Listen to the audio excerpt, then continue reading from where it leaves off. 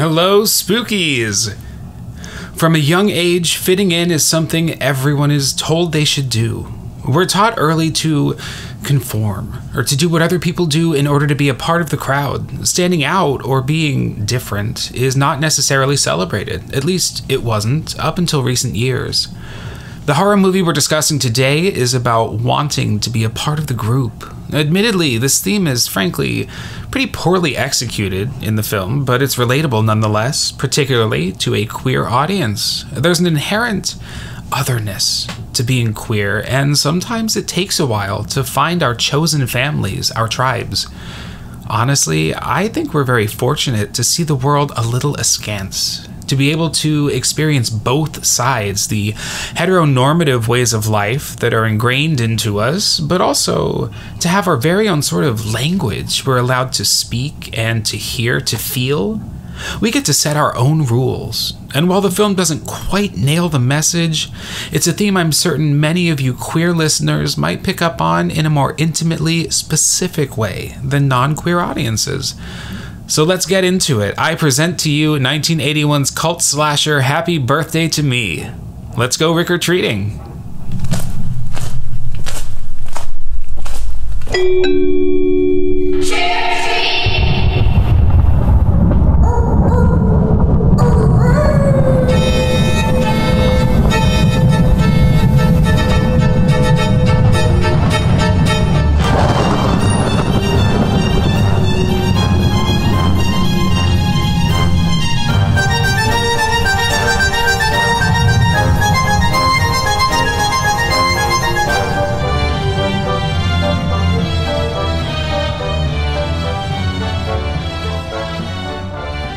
Welcome, welcome, welcome to the Rick or Treat Horrorcast. I am your host, Ricky Duarte, and today I am joined by my very good friend Jayson Kerr.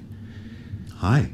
How you doing, girl? I'm well, how are you, Matt? I'm great. I'm excellent. I'm so happy to have you as my first guest. Oh, it's so good to be here with you, darling. Well, Talking you about what we love most. Uh, we are a couple of scream queens. Yes. I gotta say, we do appreciate a good horror movie. Yes. Um, not that we are talking about a good horror movie today. I, I'm debatable. I mean, I, I, I did enjoy it. I don't hate it. I I gotta say, I started this movie, so I selected it because you know this is our debut of the Rick or Treat horror cast, and it is uh, debuting on my birthday. It's also the birthday of the pod. Uh, so we, uh, thanks, I'm cute. Uh, we're talking about They can't the see you. 19. oh, but if they could. If they could, they would say, "Is she?" Uh, ladies and gentlemen, I'm looking for new co-hosts and guest hosts, uh, starting immediately. that evil laugh. I'm gonna have to add that to my intro music. Um, the 1981 eh, classic. It, it Is has it- cult status. It has It cult does have- status. The 1981 slasher flick. I thought it was a different film, but go on. I so well, we'll You know what film? I, you, you know what film I thought it was. Happy birthday to me is what we're talking Yes, about. What yes. movie did what movie did you think I was talking I about? thought it was the, the newer one, the the, the other camp. Happy version. Death Day? Happy Death Oh, Day. which is cute. I thought about it that one too. No, Yeah. I, I for a Blumhouse movie, which we have plenty of episodes to talk about how I feel about Blumhouse movies. Okay. Um, she has opinions. I enjoyed that one, and I liked the sequel. the sequel was better than the original. Okay, The, than the first one. Yeah, it was. Um, Let's talk about it someday. But you know, maybe we'll come back to that because I would love this to. year we are talking about a movie heavily influenced by none other than the original John Carpenter ma- masterpiece, Halloween. Um, I, I feel like this film is in between the impact of Halloween and the wave of slasher films Correct. that were to follow. This, I feel, The kills were the biggest tell with that. yeah, Yeah. for sure. This movie um, is in the figuring it out period. Yeah. Right, The Wild West. Yeah, they're still trying to get there, Yeah. right? They're still figuring out what's going on. How do we tell this story? Do we cling to like how horror movie storytelling was in the past? Yeah. They haven't jumped the ship yet to what would become camp, right? But we're gonna get to that. When we see the director, I mean, that makes sense. And Well, he's done right? makes a lot of sense. We'll talk about him Yeah. in a mo. Um, let's take a moment and introduce ourselves. Oh, hi. Um, you all have probably already heard my intro, uh, intro or preview episode, but again, uh, I'm Ricky J. Duarte. I'm a horror fan, and I have been for a very long time. Um, I firmly believe that horror as a genre reflects the zeitgeist of what's going on in at least our country more effectively than any other genre. Um, I think that it holds a mirror up to humanity in ways, whether the movie, whether the filmmakers intended to or not, in ways that other genres can't. Um, you know, like examples, we look at, think of Texas Chainsaw Massacre. We've got kind of post Vietnam era. We've got these um, naive kids, right? They're the um, the youth of America is fed up. Um, you know, the the loss of industry is explored in that movie, whether these filmmakers meant to or not, and I think it's probably there on purpose. Right, a gas shortage. Um, heavily reflected. Um, obviously, slasher movies throughout the 80s are excess, as the 80s were also a lot of excess. And so, um, as a queer person, I grew up, my superheroes, my Superman, my Batman, my Spider Man, they were like the classic Universal monsters. I thought Frankenstein or the Phantom of the Opera, Quasimodo, these, the others, right? These forbidden characters um, were very relatable to me. And, you know, you think of someone like Frankenstein's monster, didn't ask for any of it. He doesn't know Oh wow. that he's never thought of considered that a monster.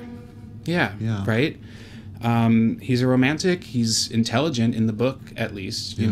know, um, po- you know, reciting poetry.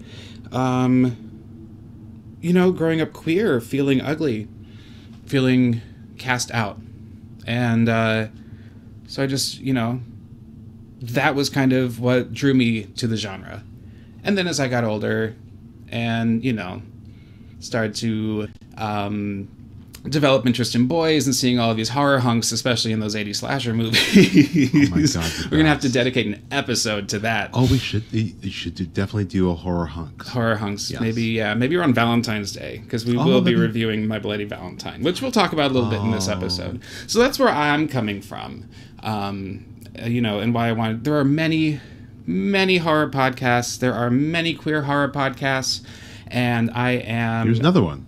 There's no, there's another one. I'm excited to join this space. I think that you know uh, there's room for many many perspectives, and I think you know I'm very interested. Um, Shudder has this new uh, documentary coming out, Queer for Fear, talking about the the cinematic coding system Yeah. and Oh, where watch queer yeah where queer horror fits into many of most of the movies that we've watched we have Kev- kevin williamson who wrote scream Yeah. We have um oh god who did chucky um uh, don mancini Yeah. created Oh yeah. chucky as a gay Yeah, yeah, yeah. right um obviously james whale who did bride of frankenstein that's the probably the gayest horror movie of all time um and uh, it's always been there Yeah. and so i'm excited to have this documentary come out because i can finally stop having cis straight men tell me i'm crazy when i try to explain these things to them you know Have they never seen uh, Nightmare on Elm Street 2? no no it's the one that they choose to ignore It's so it's it's like overtly queer. it's too queer. no, I, I, I love that movie. We got. I mean, I think Pride Month we'll probably do an Okay. episode an episode Okay. on that one For Hear sure. that, kids? Stay tuned. So that if we will at least make it till Pride Month next year. Yeah. Um, Jayson, I want to know about your history with Oh my! with, I with feel horror. mine is a lot simpler than that. okay. Uh, I well, my That mother doesn't surprise I, me. I, that I'm naturally drawn to horror as a person, Mm-hmm. as a person I am. No, my mother loved horror, uh, and and I grew up watching. She loved watching Chucky and Nightmare on Elm Street, and uh, I don't think she loved Halloween. I I think I personally found Halloween. But she watched all those campy horror films growing up. I remember like going to the video store and going to the, the, the, the horror section, and she would pick something, and then I, you know, I'd go pick something from the kids section. But we'd all watch the same shows together. Um, but her love rubbed off on me because horror was horror wasn't horror. People, I, I, I didn't I didn't grow up clutching the covers to cover cover myself. I, I grew up rooting for the mur- rooting for the slasher. uh, waiting to see what, what was going to happen and how and how hard the kill was going to be and and screaming and, and, and applauding at the death. It, it, it, was- it was that was my Saturday night in my home. Uh, so that is how I fell in love with horror. I'm learning so much about you. Your taste in men, for once, is coming from. no, I love that. I really love that. uh, so yeah, and, and, then further, I, I, I- I learned that, that other people love horror for for different reasons, many different reasons, uh, and uh, we all bond uh, on, on the fact that it's just a lovely genre, and it does reveal a lot about one's a oneself, but it also does give you a peek into the zeitgeist, like you said. I love that you said that, and I think that's why things like American Horror Story are very pertinent because he, he's kind of going out of his way now to make to make it pertinent. Now, I, I mean, I I may or may not have heard that this next season uh, is about the AIDS crisis.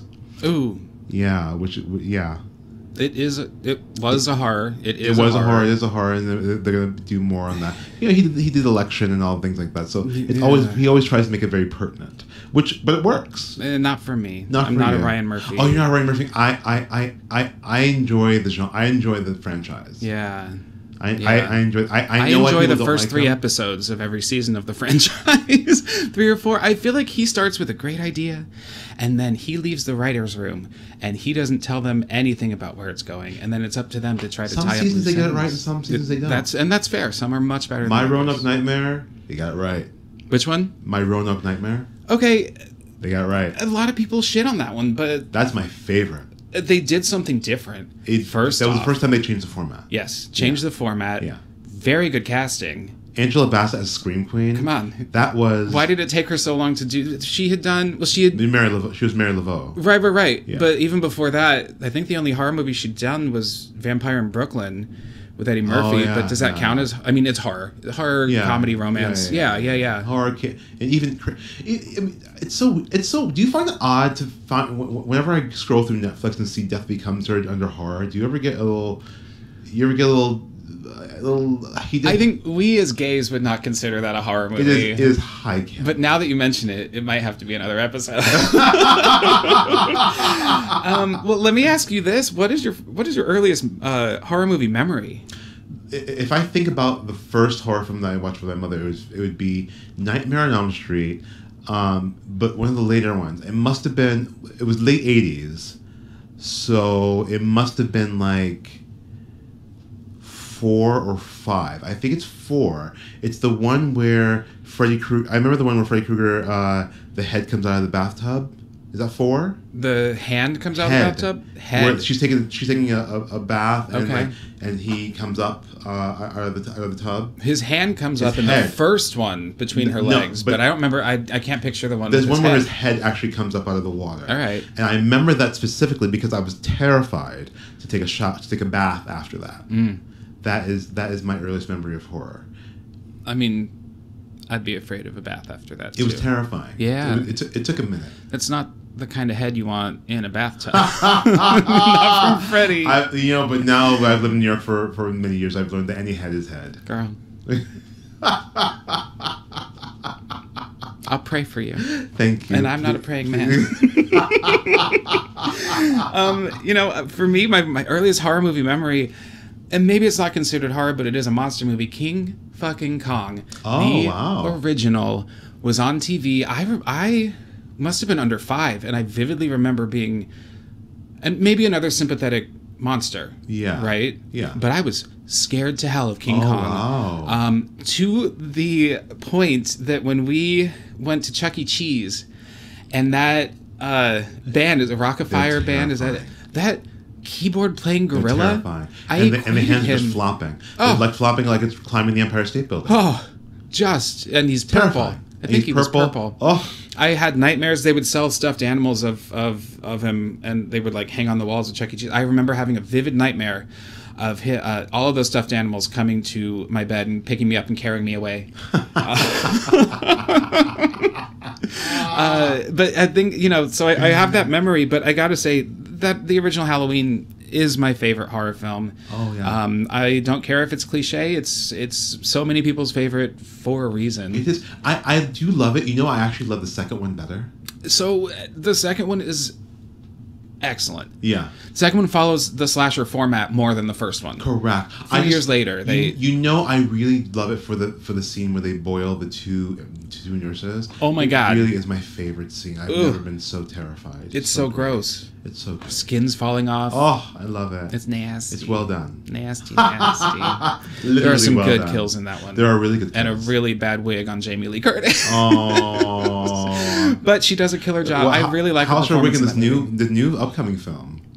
Do we have to talk about the new We ones? We, well, we definitely don't need to talk about the last one that we saw. I'm The, the, apparently, appar- I heard then that that they're going to sandwich them, like because they definitely Jamie Lee Curtis was she was she filmed for like three days on that last film. Yeah. she. She's, I mean, literally phoning it in with that phone call at the end, hearing Michael breathe. No, I don't think she phoned it in, but she was given nothing She was to given do. nothing. Nothing. Nothing. I, I I don't know. I can't. I don't know if that was her not wanting anything to do, or if that was just a script. I feel I feel it was them not knowing what story they were going to tell or how they're going to end it. yeah. So or or that she signed up for three movies and they only had two. Sure. So uh, The, the Halloween Kills is filler.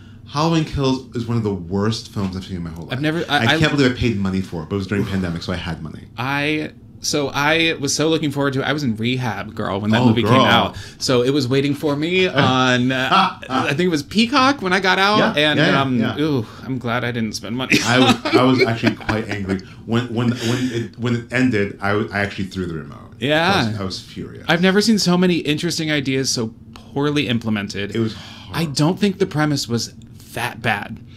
okay. the movie just didn't work. Like bring bring Kyle Richards back, right? Bring Yeah. Tommy Doyle. If we couldn't get the original man who played Tommy Doyle, or they, they reached out to Paul Rudd because he played Tommy in no. um, Curse of Michael Myers, Curse of Michael Myers, and it was Oh, a scheduling thing. that. Yeah, it was his first movie. Yeah, before Clueless. and that little boy. Mm-hmm. Oh, that was a oh that was a I love one. that one. You know, I have the Curse of Thorn tattoo on my wrist right Look here. at her. Get, all right, so not only that, it's off to the right. You should take take a photo of that and, and put it on your Instagram. It'll be we, on the Insta. We, we, have to see this. This is actually In really quite cool. In the unreleased, well, only recently produ- uh, released producer's cut, oh, which is a darker version, but a more cohesive version of the movie. Okay. It gets fucked up. Like Oh, there's wow. like some kind of incest rape, and it's just like Jamie is Michael's daughter. It's very um, that's- no, no, that's no. a- Michael Michael impregnates Jamie. That's it. So the baby that they're protecting is Michael's child. that's unnecessary. they cut it all. Yeah. That's. But anyway, at the end of that, Doctor Oh, is that where they're coming with the with the child? Oh, that makes a lot of sense. they killed Jamie off. Danielle Harris wanted, uh, didn't want to die like that after you know doing. But is, isn't the next so film they with recast the, her. Is the next film with the girl with the in the clown suit and with the knife? So that's the end of four. That's the end of And four. Michael Return of Michael Myers. Then Okay. after that, Revenge of Michael Myers, where Jamie is in like a home for um, di- mentally disabled children, kind of getting over some trauma. Yeah. Um, and then at the end, she's carried off by this secret society that's going to try to weaponize Michael Myers. They jumped the shark on this. They really You jumped. know, we're not even talking about Halloween. we are going to do a Halloween episode in a Yes. couple weeks. Yeah. Um, but so where we're getting, I the the placement of my my Curse of Thorn tattoo is to the right, which is where it is on Doctor Loomis at the end of that original producer's cut. Spoiler alert. Um, Dr. Loomis, Dr. Loomis. yeah, yeah, yeah. But so all right. Well, let me let me ask you, how was this week? Was this week a trick or a treat for you? Uh, this week was a was a bit of a a, tr- a treat. Uh, I, I, I, I'm dog. I'm a dog sitter. It's- it's, you know, that's what I do. Yeah, I hang out with your favorite- people. Oh, my favorite dog is this week, and he's wonderful. And he's such a, a snugglebug and, and, a, and, a, and a kooky, crazy dog. I love him. Uh, but that's been good. I've been pretty busy. So Yeah. uh, yeah, it's been a treat. How That's about your week? Have you, has your week been a treat? It was a treat. I just finished a staged reading of Oh, I saw a um a musical, a new musical about uh, opioid addiction and recovery, and I got to play. This was my actually my first production out of like in my own personal recovery journey. Oh, wow. And um, really meaningful. I got to play someone who is actively in recovery, an I outreach counselor. this. Killer music Love and um, very great story. Incredibly, incredibly talented cast. I got to say, I'm very proud of this show and the work that I did. I do hope. I know it doesn't usually work out this way, but if the show does continue, I would love to come back to, You it. just have to hope. Uh, but why weren't you there? when was it? Mm-hmm. When was it? Uh huh. When was it? Last night, girl, and Oh. yesterday afternoon. Uh, last night was uh oh. I don't know. I didn't think I knew about it. I didn't think I knew what it was. But I was watching um, uh, whatever happened to Baby Jane. If that helps. Uh, yeah, yeah, all right, all right. That's an excuse. I'll take it. I will take it. So yeah, that was my that was my treat of a She week. put me on blast on fucking podcast. You heard it here first. She brought me here to roast me. Yep. Um, uh, you know, I also saw some good horror too. I um I saw Pearl and Barbarian in theaters. You know, you, you, you told me about Barbarian, and I need to watch it. I need to watch it. I, I do need to watch. You know, I, I just rewatched the ending of, of Stranger Things just strictly the ending. because I wa- I watched it with our friend Colin, uh, and Colin Who's she? insisted. who's she? Col- Colin insisted that we watch both at the same time. The, and that's four hours Yeah. of, of Stranger Things, which and is- you'd already seen it. which is fine. No, I'd not seen it. oh. It was four hours. This this is this is when it first was dropped. Yeah. Okay. Uh, and um, I'm 40. Uh, and I, I, I, it's because I moisturize. It's because I moisturize. Um, and I couldn't make it through. I made it through most of the first one, and I slept through almost the entire second half. Oh. Uh, so uh, this week I was like, I should probably figure out what how it end, how it actually ended. So I rewatched it. What? Uh, I I thought that this was the last season. Me too. The entire time. Me too. I was convinced. I don't. I felt like I thought I had read it somewhere. Yeah, And I was telling too. my roommate, like, Yeah. "Oh man, it's all it. going to end. This is the end." Yeah. And then it ends the way it did. And It I makes sense. I mean- on my phone immediately. What the hell? four hours of, of, of, of content. You're like, oh, this has to be the end. Yeah. Is- so what the fu- fuck are we gonna have for the the next one? Oh, we're gonna have to put explicit now.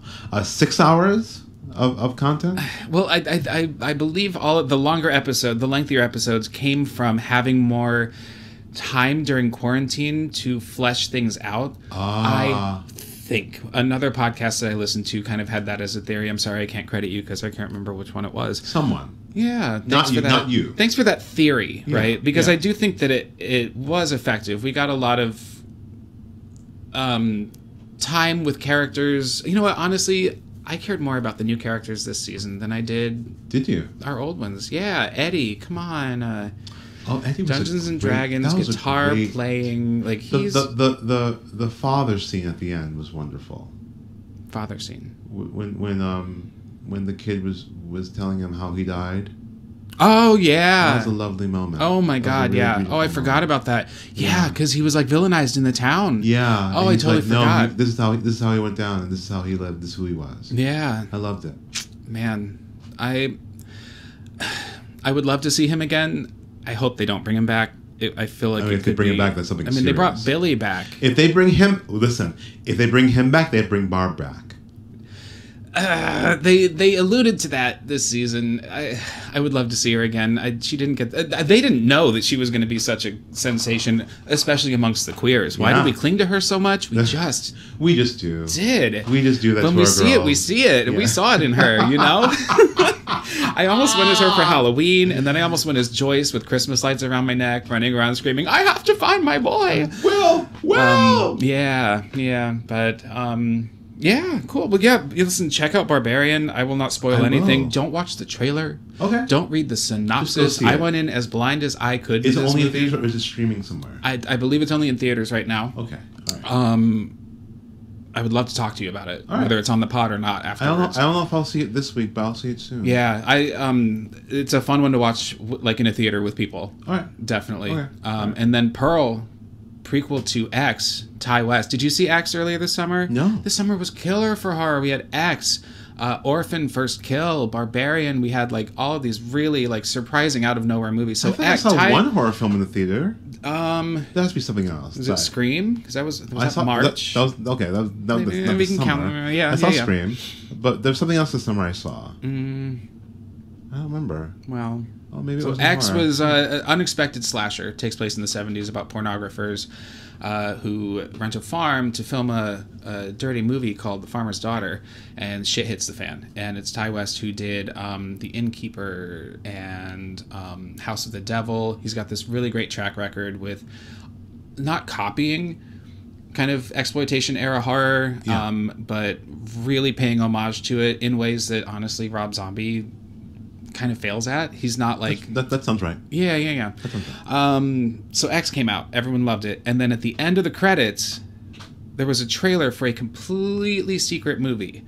Filmed it all during quarantine, so they got they got both of them greenlit at the same time and filmed Oh, both of them in New Zealand while everybody was still quarantined. In New- you know, while they New had, Zealand? and it's a prequel taking place like fifty plus years uh, earlier, Oh. um, about this character Pearl Yeah. um, also played by Mia Goth, who is a revelation in this. She was great in X because she plays Maxine and old old Pearl in old old makeup. Okay. Now in Pearl, she plays Pearl 50 years earlier when she was young, and completely different film. It's not gritty. It's Okay. not dark. It is Technicolor. It looks like The Wizard of Oz. Oh my if you mix, I I uh, I compared it to Whatever Happened to Baby Jane mixed with Wizard of Oz mixed with Psycho. If you put that in a blender, you've got this So bizarre camp, so camp, camp horror. camp to the max color palette of Gone with the Wind, a sweeping score right Oh out of that era. I have to see this. Yeah, but see X first. Okay. This is your assignment, Okay. All right. right? And you too, dear listeners, uh, and then check out Pearl and see Pearl in movie theaters because I do think it's beautiful on screen. All right. Um, very different tones in the two movies. Yes. Um, but they're supposed to be. And then stick around at the end credits of Pearl for another cool surprise right. that is definitely worth that's sticking around for. Yeah, yeah, yeah. But listen, so um, why don't we talk about the subject at hand? Okay. Happy birthday to me. Oh, Directed by J. Lee Thompson. Uh, this is someone who had quite a track record before this movie. This Cape was uh, Fear. Cape Fear, the original Yeah. Cape Fear. one of the one of the Planet of the Apes. one of the Planet of the Apes Yeah. sequels. Um, unexpected when this came out that this director took this or made this choice. It was written by John Saxton, Peter Jobin, Timothy Bond, and an uncredited uh, like kind of writing position for John Baird. Beard. Um, but the producers of this film were John Dunning and Andre Link. Uh, this was part of kind of the Canuxploitation era, Canadian exploitation horror. they also did yeah. around about the same time uh, My Bloody Valentine, the original, Oh. and you can see the similar tones. I, do, wondered why so many of the actors were Canadian. yeah, That makes a lot of sense. Filmed in um, oh crap, I think I was, know I know any of the actors, not one of them. Um, well, surprise! Uh, the uh, the actress who plays a Virginia Virgin Wainwright, aka Ginny, is Melissa Sue Anderson. She was uh, Mary Ingalls on Little House on the Prairie. I never watched that shit. I didn't either, um, but I know enough about it to know that this is a great departure from any of the subject matter on that TV Yes, show. yes, um, yeah. It's I feel like it's kind of like Miley Cyrus giving the finger to Hannah Montana, right? Which she did multiple times. She did multiple times. Um, very big departure from it. Um, you know, the only other recognizable cast member to me is Glenn Ford, who had and he plays uh, Dr. David Faraday, her psychiatrist in this movie. Okay. Um, the the the shrink, um, who had a, a, a more prestige. He was in Gilda. Um, he did. He had a very good career before this. Apparently, he was drunk the whole time Of the mo- in the movie? of filming this this movie. movie? Yeah, um, and was picking fights with people on the set. I do love that. Um, you know, the thing about this movie, there are too many damn characters. there are a lot of characters. so basic premise is um, at a uh, kind of like a, a fancy high school I thought it was, I, I I didn't even know whether it was high school or like college. because they don't tell you. I had to look the this scars up. were the scars were very Yeah, um they are- not- uh, confusing to me. Twelfth graders, They're right? 12th At a very graders. prestigious school. Um, That, that, that, that explains some of the some of the action. this movie doesn't explain a lot. no, I mean, the it's notebook. all it's all it's all shock factor. the notebook that I was trying to keep up with, Yeah. it, it, it, it's all chicken scratch because none of it makes sense. Yeah. There's too much story, but we'll get to that. Too much Um, exposition. they, there is um, kind of this clique called the Top Ten, and they Mm-hmm. are kind of um, the most successful, maybe the certainly the most privileged, uh, the wealthiest of this school, Mm-hmm. um, and they're very well known for pranking each other Mm-hmm. and pranking other people, right? And they get away with everything. Why? Because they're rich. Because they're white. White. Because they're straight. Um, There are like two black people in this film, no, yeah. and they're Um, all extras. They're all extras. They're way in the background. Um, Ten characters who I will list now, but I'm not going to list the actors. I'm going to do my best throughout this episode to keep track of who dies and how. God bless. But the, oh lordy, all right. So we have Ginny, our um, lead, okay. maybe one of the worst final girls in history. I was horror. curious of her of, of her final girl status. Yeah, um, we have um, Anne, Okay. Alfie or Alfred, Steve, Maggie, Rudy, Greg, Bernadette, and Amelia. We're gonna move on, right? There's also um, I think I think we've already known too much. there's a woman named Mrs. Patterson who works at the school. We have the um, Sharon Acker plays Ginny's mom, Estelle. Oh God, she should get an Academy My Award. favorite character in She- this she should movie. get an Academy Award. Oh, um, and She then was giving you um, something. uh, Ginny's dad, Hal or Harold. Um, but you know, we'll get to him. Uh, opening with what I didn't realize is a cold open. I thought the movie started and this character Bernadette was going to be the lead. Oh yeah, it was it, it was it was a tone a tone setter. Yeah, uh, to almost a little bit like Scream for me. Yeah, That yeah, when she bites the dust, Yeah. I didn't I didn't know that that was the direction it was headed. Yeah. Um, I love when she trips on the Mrs. Patterson's dog leash. It, did you see this? It, like it almost like Catwoman with a whip, just Yes. like wraps around I her leg. that's what it was. Uh, yeah, I, I, there's so many. Um, I don't. Was that an intentional Yeah. throw you off thing? Yeah, like someone's yeah. attacking her. They, they, they, they did quite a bit of that. They did that in, in, in that open, and then they did it for uh, a, a few a couple of the, the kill scenes. Yeah, uh, the Winston the dog. My favorite line in the movie is when she Bernadette is mocking the the woman says like, "Come along, Winston, get me home," and uh, Bernadette, in as she walks away, says, "Come along, Winston, give mommy head." Yeah. Um, Out of nowhere, I instantly fell in love with Bernadette, which breaks my heart two seconds later when she gets in her car and from behind a pair of leather gloves reaches around her neck and starts choking her. And I gotta say, I've been choked by some leather gloves in my day. Oh, you, oh, Uh, so so the, is it sponsored by the Eagle?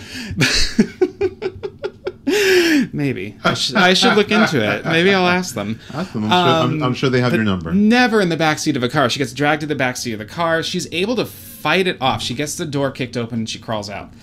Runs, runs, runs, and then stops moving. Right. Runs again and bumps into somebody and says, um, Oh, it's you. Yeah. Oh, thank God, thank God, please help me. So we're instantly put into a kind of an Agatha Christie esque, Yeah. What? Yeah. like, I thought I thought that very same thing. who done it? Yeah. You know? And the leather gloves are there, and Well, It's, it's that's just- very it's giallo. That's very Italian horror, right? Yeah. Fulci and um, uh, Bava, Mm-hmm. uh, that whole era of like a, a blade in a leather glove, and I that's just all that recognize from. Days of Our Lives. huh? I, I just recognize from Days of Our Lives. In Days of Our well, you don't have much of a life going on. You get to sit at home and watch your little soaps. I used to, used to, Yeah, used to. I was more. hooked on. I think it was Guiding Light when I was a kid. I Everyone- was everyone- homeschooled for a few years. You were? which explains everything. It Explains a lot. Um, and we would watch Dark Shadows, and then we would watch Guarding. Dark Guiding Shadows Light. amazing, but everyone, everyone has one soap opera in their life. Agreed. Totally agreed. So now Bernadette thinks she's safe, um, but this gloved hand. All right. Instead of like calling it a gloved hand, moving forward, we're just gonna call it leather gloves. That is that is the name of our unknown killer. Leather glove. Much the, like Leatherface. yes, like the Chainsaw Massacre. I love that. Yeah, yeah. Um, so pulls out a blade and very quickly slashes her throat. Very Sweeney Todd like. It was very quick. that's true. Attend the, no, you're very right. Attend the tale. That's not actually that's not actually wrong. Uh, this was one of the kills that uh, was edited. Uh, originally, blood was to gush out of her neck, like they did in Sweeney Todd. Much much like Sweeney Todd. Uh, Yes. There were a number of edits to this film that were made to avoid an X rating. Um, Oh, how interesting. yeah, so as as That's interesting. as absurd as the amount of blood that it is in this movie, there was more. well, there's a lot of splattered blood. There's like there's like Jackson Pollock blood in this film. That's true, and you but you don't you don't necessarily see the kills happening. You see kind of like the after effect. Yeah, it's they're building a picture. They're, they're, it's picture, picture, picture. It's beautiful. A lot of old horror films do that, right? That's true. Well, that's what makes Yeah. Texas Chainsaw so effective. You don't actually see a chainsaw go into anybody. It always cuts Yeah. away just before it happens. In fact, uh, Tobe Hooper was going for a G rating. Allegedly, that's the rumor that like. Oh yeah. wow! Now of course We- that- I would love a G-rated horror film. I really seen- would. There's an Instagram artist, I can't remember who it is, but it's called Horror Babies, and he like he kind of makes these cute little, almost Muppet Baby like um, drawings of of our favorite slashers. Horror baby, da da da da da da. I, I- I can't think of the lyrics. That was really uh, will make your dreams come true, which would work for Freddy Krueger. Uh, also, my my good friend. for those who don't know, and that's you know a lot of people I guess who are listening. Jayson's a very talented vocalist and Oh, so actress, kind. and um, that's well, that's how we know one another from um, Yes, from the streets. from the the theatrical streets. yes, it's the streets. she's always taking my parts. Have I? no, never once. Were you supposed to be in Porgy and Bess? no, no. Okay, I just wanted to make sure. Um, all right, so we have cut away from Bernadette, who I had grown to like in her short, short lifespan, um, and we cut to an, an inn, and it's called the Silent Woman, and we get a close up of the sign for this inn, and it's a headless lady. bum bum. Boom, boom, boom, and this is where the top ten meet every night to get drunk and act like fools. Yes, Uh, so much like Harry Potter and the gang meet at the uh, where at their gang at their place. was that the um? I forget. I, know. forget. I, I- I was trying to think of it as I was coming up with it, and it, it, it never came up. Is it Move on. broomstick? No, no. Okay. All right, No, we'll move on. The three broomsticks. Yeah. I don't know. I That missed- makes sense. That, yeah, that yeah, might yeah. Be it. That might be it. That All might right, be all it. right. Yeah, yeah, yeah, yeah, yeah. So we're at we're at the inn, and we are introduced to the top ten, whose names I have already told um, just a little bit ago. I'm not going through that again. There's too yeah, many. it's a lot. Too many, and they all die. And they, they they talk about Bernadette. They miss her for about two seconds, and then they move on. Little do they know she's her body, her corpse is being dragged somewhere. oh, poor Bernadette. But Alfred, who is kind of the weirdest one of the group, asks Ginny if he can buy her a drink, and she says absolutely not. This is one thing. Uh, the drinking age in this movie. These are all twelfth graders, Yeah, and they're drinking.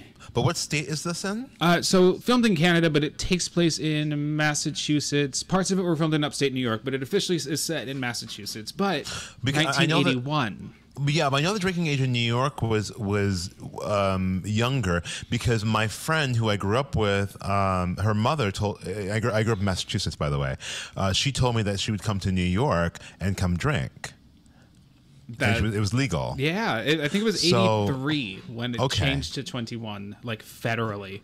The way that should be. I mean, but the kids, American kids, are so um, irresponsible, so it probably wouldn't work anyway. No, there, there's no abso- absolutely no way that anyone would get anything done, and children's No. brains are still developing at that young age. And and and drinking kills brain cells. Yeah, Drink Don't- water, kids. Don't Drink I know water. it? Drink your water. Uh, so water. Alfred, uh, and th- so there's um the local Shriners are hanging out at this inn as well, and they're singing and being weird as Shriners do. I don't really know what Shriners are. Um, I used to know because I used to work with them. Um, I don't remember anymore. It's all right. All I picture is Bye Bye Birdie with um uh the the the number in the movie with Janet Leigh. Um anyway, so Alfred What the- number is that? um it takes place downstairs. Okay. and- Move, move on. Move- okay, great. Oh, uh, Spanish Rose. Yeah, yeah, Spanish yeah, Rose. that's the one. So Alfred, Yeah, the yeah. weirdo, pulls out a rat from his pocket. This rat's name is George, and everyone fawns over this rat. No one brings up the fact that it's fucking weird to carry a rat in your pocket. Even today. Even today. But so then Post um, post COVID, it's weird to carry a rat. so I had a pet rat when I was younger. His name was Wally, and um, he was very sweet. Rats are very social creatures. You're you're looking at me on the camera right now, like I'm crazy. I'm looking. At, I'm looking dead in your face. they can't see it, but they can certainly feel it. I can feel that icy stare. No, he was very sweet. Rats are social creatures. Children should It's never. more. It's be- more concern. children should never It's more be given concern for your well-being. hamsters. Hamsters are mean. They're social, uh, solo creatures. They don't like to be touched. You know what? This poor rat. Goes, Rats like to be touched. They- I've seen rats. they run in at packs. 3 a.m. in the morning. They run in packs, though. You know what? I'm not going to try to convince you to buy a rat. Um, Please don't. um, so, but poor George goes missing, and he goes missing because one of these top ten has taken um, poor George. And as he fake apologizes to the Shriners for getting into a fight with them, the Shriner takes a sip of his beer, and George the rat is in the beer. Drowning. Drowning. Where was PETA? Where, was, PETA? it was long before you got that little disclaimer at the end of the credits saying that all the animals were treated uh, like Humanely? Humanely. Or no animals were no animals were harmed in the making of this film? no, the animals in this film were Were intoxicated. harmed. They were harmed. They were harmed. They were. Well, not not unlike the, the, the last mosquito that bit me that that's now at the Betty Ford Clinic. Okay, Patsy or Edie. You're welcome. Edie. no, that's Patsy. Is You're it right. Patsy? You're right Man, the first time. I missed that show. If you, if, you, if you don't get your if you don't get your ab fab quotes correct, I'm gonna come through this computer and and strangle you. This is a horror podcast, not an ab fab. No, you're right. You're right. I'm ashamed of myself. I'm ashamed of myself. Um, all right. So the the fake apology to the Shriners, and uh, they've bought this. They call him a lead wizard, which really weirds me out. Um, and so all the kids run out laughing, and um, Etienne, who is like this French foreign exchange student, a member of the top 10 is like staring creepily at Ginny. Um, that will make sense in a little bit. So while all the kids are getting in their cars, set they, it's a setup. Uh, while the kids are getting in their cars, they see a drawbridge lifting in the distance, and they all start getting excited. They decide to play quote the game, which is basically chicken, right? Yes, They're all going to yes. drive over this drawbridge, and um, whoever doesn't make it is I don't know a rotten egg or something. Did you do anything stupid like this when you were a kid? We I mean, would I'm sure- play. We would have. We would call them fire drills, and at a red light, we would all Oh, yeah. get out of the car, and we would all run and like and trade different seats, and then get back in before the light turned green again.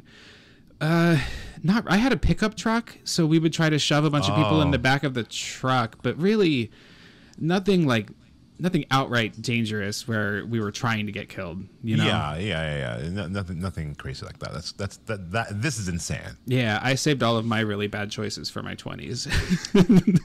and that as well was a long time ago. Uh, how very dare you? I'll always be younger than you. but not by too much. No, that's true. You're very right. So at this point, Anne, our top 10 member Anne, shoves Jenny into a car. Ginny doesn't want to do it. And they race, race, race to the bridge. And Ginny freaks the fuck out. Like, hmm. the only person who's having an appropriate reaction to this. But however, she's trying to escape from a moving car. she open, she screams mother and she tries to open the car door and jump out which is complete madness i mean It's wild. It's- I mean, I, I, I, I, I, even in the worst situations, even if I was being kidnapped, I don't know if I would escape from a, a, a, a quickly moving car. no no i picture slow-moving in, car, yes. i picture in sister act when the little red-headed nun just like jumps Oh out and tucks and rolls that's what i'm picturing It's amazing that she knew how to do that. I mean, because because Whoopi only gave her like a, a, a- a light notion Yeah. on, on how, how to do that. It's, When- that's a wild scene. when whoopi tells you to do something you you, You do it. you do it yeah, you do it. Um, all right. So uh, at the at, in the end, Steven chickens out. He doesn't make it over the bridge, but when the car lands, it totals. Like the entire front end of this car is The- smashed. Yeah, And then in the next shot, it looks perfectly fine. perfectly fine. it's um, movie magic. Movie magic. At That some point, movie magic. sing to me, baby. At some point, one of the stunt doubles for this film doing a car stunt broke both of their ankles. Wow, you can't li- you can't do much after when you No. break, break your ankles. No, it reminds me of like Spider-Man: Turn Off the Dark. That actor who broke both of their wrists. Your career is changed forever. It's you yeah, know? yeah, yeah, yeah, yeah. Um. So after this, Ginny, uh, uh, she goes to visit her mother's grave, middle of the night. Something that people do, I guess. This is her and Cinderella. She kneels. Yeah, She's, Ginny's not singing about it. Ginny um, kneels down and she starts telling her dead mom how popular she is and Oh, how wow. all these kids really like her and she'd be very proud of her. And she pulls out a pair of gardening shears that are in a box next to the grave, and she's just. Trimming the grass around the grave. Um, these are these will prove to be Chekhov's gardening shear Ah, because the loaded gun. the loaded gun, uh, the sharpened garden shears. Um, and she hears footsteps behind her, and she runs off. And Etienne from before grabs her, uh, really creepily. He's just a weirdo, and offers to walk her home. So Ginny gets home. She goes into the door, and her dad's here. Okay, this is a weird scene. Oh man, their little greeting, their little kiss on the lips is like half a second too long. It's like a soap. It's like a soap opera kiss. Yeah. It's like John and Marlena like reunited again. It was so disgusting. I'm really glad I was not the only one who picked up on this. But I think it's going to come into play. I think that Ginny has some kind of daddy issue because she has a very weird relationship with her therapist as well, Dr. David, who we'll meet in just a little bit. Um, and so d- dad says uh, that they agreed that they wouldn't visit. She wouldn't visit the mom's grave anymore. They had just moved back into this old house. Right, something bad has happened, and they moved away. And um, and he he didn't want to move back, but I guess for it never really explains why. And Ginny says that Dr. David has told her, until I stop repressing what happened, I won't be completely cured. So this movie drops a lot of little hints at things, and it takes it's- forever to explain any of it. a lot of suspicion. A, lot lot, of of, suspicion. suspicion. A lot of red herrings. Too many red herrings, and red herrings that don't last very long. Yeah, they're quick. Very quick. We have like three acts of red herrings. Yeah, it's, it's uh, so we cut to a Halloween esque first person camera view, right? Like we're looking through someone's eyes, um, and um, this person climbs the trellis up the up the side of the house. Ginny goes upstairs to her room. She turns on some jazzercise music, and she's slowly, slowly, slowly taking off her clothes. Um, grit, like it's gratuitous, but it's not sexy either. And she she It just needs to happen for, for the murderer to be beckoned. that's well I, I guess um Because we're just now getting to that Wes Craven era of horror where the, the, the if you get naked or have sex, the mur- murder's coming. that's true Yeah. that's yeah. well this particular person who I, it should be no surprise who it is i don't know why they tried to make anybody wonder because etienne just walked her home Yeah. um she takes off her panties last and they're embroidered with a flower it's they're not cute panties it's weird it's disgusting. They're, and they're granny panties too. total granny panties They- They're like they're like like wider than her hips. So we get the impression we get the impression that someone's watching from inside of her closet. She doesn't see them. Um, but although no wonder she wanted to move back to this house, that closet space was killer, and she has her. You know, I would I would risk a murderer too for a good closet space. I would do anything. My, I would do a lot of things. Looking around my tiny house kitchen apartment, and her closet was bigger than my bedroom. Correct. and and she gets her own giant bathroom too, with a bathtub, and ugh, I'm jealous. I want the bedroom from uh, uh, Clueless. I Sure, the closet from Clueless. absolutely. I'd kill for that. I'd kill for that. wow. That that's my that's my horror movie. Are you the killer? Are you leather gloves? It's very po- it's very, it's very possible. Uh, don't don't look behind me. so while Ginny is in the bathroom, someone comes out of the closet and jump uh, climbs out the window, and Ginny screams. Um, and we see Etienne fall from the roof, and he runs away. So this whole time, we were not supposed to know that it's Etienne spying on her. I guess, even though he just walked her home. French people are so sneaky. They're so sneaky. No comment. They're like, oh, come eat some like frog legs, and like it's delicious. Well, but yet, at first you I thought that they were making the foreign exchange student the weirdo, and that that was you know a bad thing. But there's a lot of weirdo guys in this movie. All Yeah. the guys are weirdos, even the teachers, even the teachers. yeah, even Um, the fathers, the the creepy, rapey fathers. Well, and so speaking of weirdo teachers, the next day, um, the kids have gotten scolded by Mrs. Patterson because Bernadette's missing and no one seems to care. She thinks that it's a prank. Mrs. Patterson is the only person with any sense in this goddamn movie, and she disappears halfway through. Uh, but we She meet, vanishes. She makes we- one last scene. and We'll, we'll talk about that in a bit. we meet a French science teacher, and they have this weird static electricity moment where they reanimate uh, dead frogs' legs. Another red herring. Right, right, right. And he even waves them in someone's face, and then he statically shocks another kid with like animated What's the- electricity special Yeah. effects. Um, I've never seen static electricity like. Show, actually, that's a lie. I have seen a little bit of spark with static electricity. Does it You can. happen? It can happen. Wow. It can happen. Yeah, it's quick. It's quick. The world is a magical place. It really is. It Um, really is. But so all of this science talk gives Jenny a flashback uh, of her getting an MRI or a CAT scan or something of her brain. Uh, and the doctor tells her dad that there's new brain tissue developing, and she sits up and she says, "My b- birthday," and that's it. We learn um, that there was like an experimental brain tissue replacement procedure going on. It's unclear what happened to her or why she needed it. It's probably because she watched this fucking movie. TV rots your brain. Yeah. That's the, era, that's the era that we're in. That's the lesson that we're watching or lesson that we're learning. Uh, but so Ginny says she feels like an experiment or a guinea pig, or as I like to say, a Ginny pig. oh man, I was really proud of that one. All right, Good for so, you, miss. Um, cut to a motocross race. totally out of nowhere. We're watching a motocross race with dirt bikers, and everyone's there because they're such good friends, these top tens, and it's a thrilling sequence. And uh, uh, someone tries to kick Etienne off of his bike, and then they crash into the water. Um, that happened to me the one time that I rode a dirt bike. It was my cousin's dirt bike, and Oh my I, God. I think I ruined it. I like sp- went out of control and crashed into like ramped into some water, and uh, This is why I wish that we used to had uh, iPhones back then.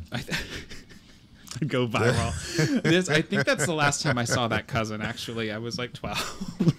Listen, cousin, cousin can come and go. yeah, I, I guess. We, we, we usually have like ten or twenty of them that can that can just be disposable. Oh, I wouldn't call them disposable, but I think that I was disposable after I wrecked their bike. You were Uh, dispo- well, you were disposable cousin, so I'm not wrong. oh shit! Damn it. uh, so Etienne Don't, wins. put, don't keep yourself on the good side. Keep yourself on the bad side. Know your know, know your place, miss. well, you are great at reminding me of it. You're welcome. That's why I'm here. Etienne wins the race um, because the top 10 are winners, right? Um, and so everybody plans to meet at the Silent Lady. And they all run off, but Etienne walks up to Ginny. And Jayson, what does Etienne do? What does he reach into his jacket pocket and pull out? Her panties. Is the granny panties? The granny- pink, flowery. Gra- I literally have seen these in my grandmother's arsenal. Oh, God. Well, Literally, I hope there are no French foreign exchange students hanging out around your granny. it's possible there are. It's possible that there are. It's very possible. Um, well, he he tells her that they were in his jacket next to his heart for good luck, and it's fucking weird. Now Alfred God, I wish sees I had a this. Alfred sees this, uh, and he just he clearly disapproves. Um, and we, you know, he's al- he's already been turned down by Jenny for a drink, um, but he's he's not happy about this. Etienne says that he's going to join everybody after he cleans up his bike, right? So here's a red herring of Etienne being a weirdo, and then we immediately cut to his death scene. like there's no there's no chance for us to try to put two the wrong two and two together because Yeah, it, yeah. It's like it's, it's a bunch of it's a it's a three one acts of red herring. Yeah. it's, so, it's a strangest horror film. We cut to Etienne's garage, and his tire is spinning real, real fast as he's cleaning it. Um, and Leather Gloves walks up behind him and grabs this scarf. All of the top ten, they were each wear these blue uh, striped scarves to indicate their status, I suppose. Yes. And for some reason, he wears it even while he cleans his filthy dirt bike. Um, because that's how precious the scarf is. well, it's, People wear scarves for status is, are so weird for me. Wasn't didn't wasn't there a teacher in like Good Will Hunting that wore a scarf for like status? I don't think I've ever seen that movie. Oh, okay. All right. It, but it's, it's almost like the Hogwarts houses have their different Yeah. colors, right? I think that's Yeah. what these kids are doing. yeah. Um, So the glo- uh, leather gloves grabs the scarf and throws it into the rotating tire, and it yanks Etienne's face uh, into the tire, and it just grates up his face like ground meat. But we don't see it happen. I know it's It- so the camera blurs. It, it was another thing that was cut. There was supposed to be a more graphic shot of his pulped up, bloody face afterwards, and it was cut. This is. I want a remake of this film. I want a bloodier remake. well, apparently, there the the full release is available somewhere on the internet. Um, I don't Oh. I don't know where. well, so well, when we find it, we should let your listeners know. You're right. Maybe I'll look into Yeah. it and I'll put it in the social media. Yeah, put, put, put, put it on the social because I think I think that people will be clamoring because I certainly am. well, I would rather just watch a master cut of the gore that was cut instead of have to sit through this two hour long movie with was- a, with oh, added was- footage. It was quite. It was. It was nearly two hours, but with commercials, it was long. It it really should have yeah Yeah. because we used Crackle. We watched this on the free app. I'm not. We're, we're not gonna. We're, we're, not gonna uh, sugarcoat it. I just had no. I just had to buy a new computer to get this podcast off the ground. I she can't. She, she can't broke. spend extra cash. I would not be accepted into the top ten because I'm broke as hell. She's poor. So Ginny and Anne skip the Silent Lady, and they decide to sneak into Alfred's house, breaking and entering for reasons unknown. They, I think they're stoned at this point. Uh, Oh, and so they lovely. they climb into Alfred the weirdo's window, and they find uh, taxidermy everywhere. It's very Norman Ah, Bates, yes. right? Very. Um, so stuffed animals, but like not the cute kind, the creepy kind. ah. and special some special effects supplies right there's a life cast of a face there's some plaster of paris and um then they see something under like a rag with a little bit of blood on it and they uncover it and it's bernadette's severed head Bum bum. but it's it's literally the actress play who played bernadette with her head through the hole of a table that that's day work. It's day work day work. it's an extra day on her contract Yeah. you're right no lines she ain't got to memorize no lines Don't knock it. She got she got paid for that day. um, Alfred sneaks up behind these girls, and uh, they make an, up some excuse that they were worried about him, uh, but he's acting weird, and uh, he calls Bernadette's head his greatest masterpiece, and that they Wow. can be his next models. Um, and the girls are freaked the fuck out. But then he removes a glass eye from B's head. Uh, and it reveals that it's just a prosthetic sculpture. He's weird and into special effects stuff, and he's made a sculpture of Bernadette's severed head. I hope Bernadette saved her money.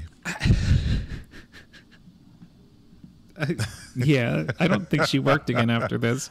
Exactly. Um, look, I don't. Was he making a woman suit? What the fuck is wrong with this guy? He Puts the lotion in the basket. it's very off. Uh, Ginny calls him sick and says that's not how you attract girls.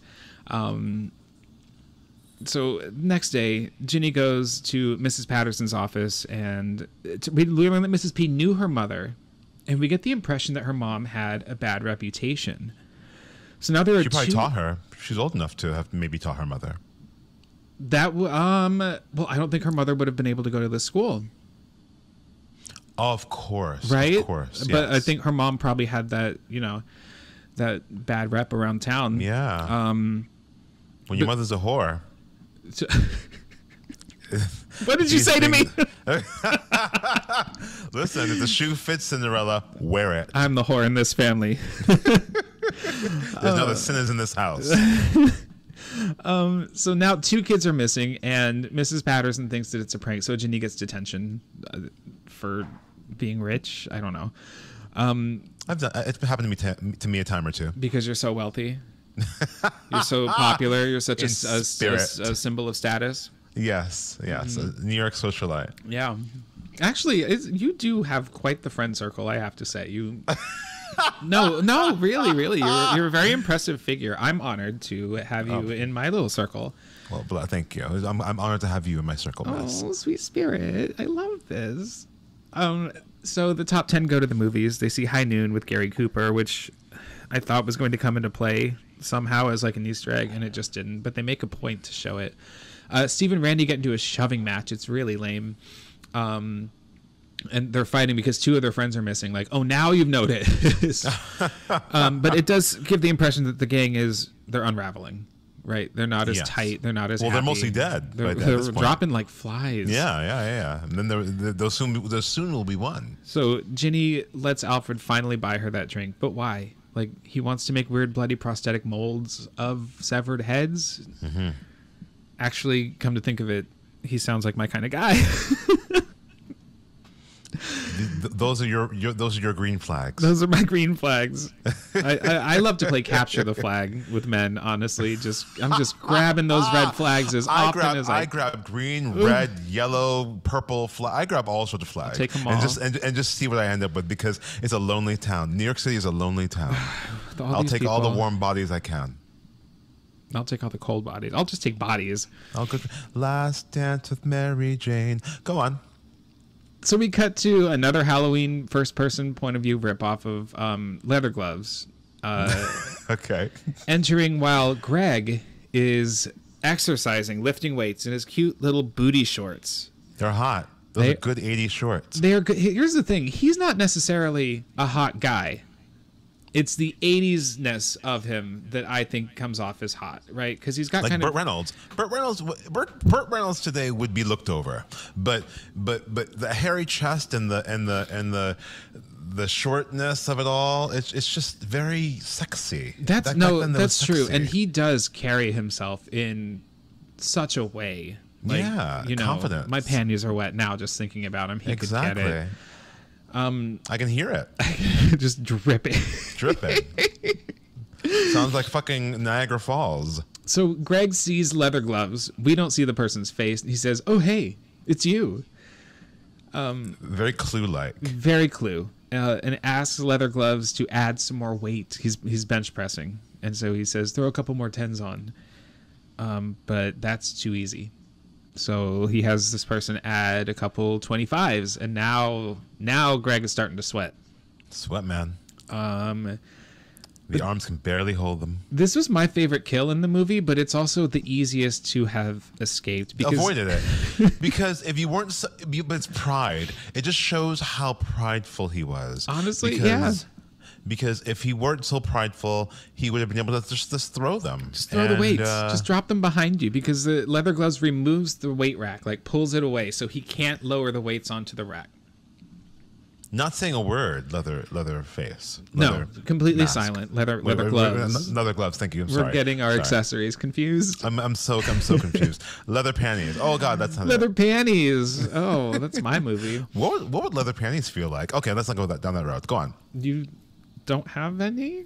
Is that I have So- something else leather but it's not panties So leather gloves picks up another weight, like a plate weight, uh, and drops it on his junk.